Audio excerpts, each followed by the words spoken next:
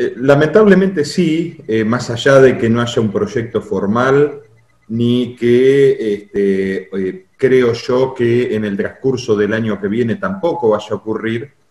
porque Juntos por el Cambio todavía cuenta con una mayoría en la Cámara de Senadores de la provincia de Buenos Aires y esto me parece que inhabilita cualquier intento a corto plazo pero es indudable que sí, que eh, las reelecciones, que son para intendentes, pero también tenemos que decir que se limitaron las reelecciones indefinidas de legisladores, de, concejales,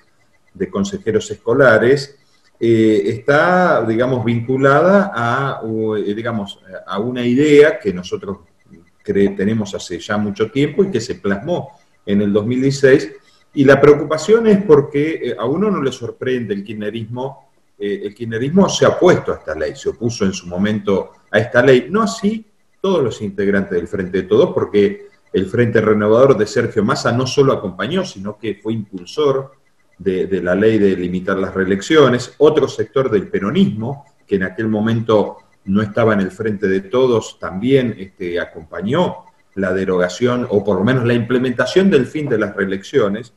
Pero bueno, eh, las declaraciones del presidente Alberto Fernández dándole un guiño a los intendentes, fundamentalmente a los intendentes del conurbano, para habilitar estas reelecciones, ya empieza a ser una alerta. Eh, las declaraciones de algún intendente de Juntos por el Cambio, no diciendo de habilitar las reelecciones indefinidas, pero sí poniendo un manto de duda respecto de cuándo debe computarse la ley. Esto es muy importante porque la ley fue sancionada en el año 2016, la ley taxativamente expresa que quienes estábamos en un mandato en el 2016, digo esto porque son los intendentes, pero yo en aquel momento era senador electo en el 2015, fui reelecto en el año 2019, es decir, tengo mandato como tantos intendentes hasta el 2023, y la ley expresaba claramente, expresa claramente, que eh, ese mandato era el primer mandato y algunos intendentes, inclusive de, nuestro espacio político, que nos genera a nosotros muchísima preocupación, eh, manifiestan que habría dudas sobre la legalidad de eh, ese punto de la ley respecto a la retroactividad y abren la puerta a que en el 2023 podrían ser reelectos. Y nosotros desde la coalición cívica expresamos que eso para nosotros sería una estafa a, la voluntad popular, porque nosotros nos comprometimos y prometimos esta ley. Senador De Leo, aquí hay un punto importante, porque es esa ventanita que abren justamente algunos intendentes, incluso de Cambiemos y de Justicialismo, lo que están diciendo es que no se puede aplicar la ley en forma retroactiva, es decir, que no se puede contabilizar el primer mandato desde el 2015, porque la ley se aprobó en el 2016. Bueno, a ver, en, primer lugar, eh, la retroactividad eh, digamos, tiene, tiene antecedentes eh, y jurisprudencia. De hecho, ustedes recordarán, a ver, casos, casos como por ejemplo eh, el más cercano, el gobernador de Río Negro. Ustedes recuerdan que el gobernador de Río Negro estaba ya para presentarse en la elección y hubo un fallo de la Suprema Corte de Justicia donde dice, no, se computó el primer mandato porque él aducía que la reforma de la, de la Constitución no se podría aplicar retroactivamente, así que ya hay antecedentes jurídicos en este sentido. En segundo lugar,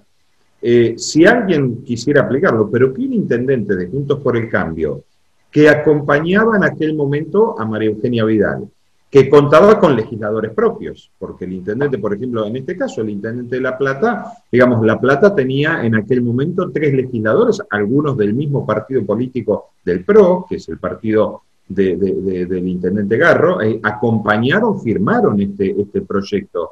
Y en aquel momento nosotros hicimos un eje de campaña con la reelección. María Eugenia Vidal decía, en el 2023 se terminan los varones del conurbano. Es decir, que eh, si hubiera habido alguna clase de duda legal, que no la hay, pero digo políticamente, en aquel momento este, se le prometió a la sociedad que la ley era de esta manera. Es decir, que me parece a mí que además de que jurídicamente no corresponde, me parece que también sería un cuchillo, digamos, un cuchillo bajo el poncho, decirle a la sociedad, miren, lo que votamos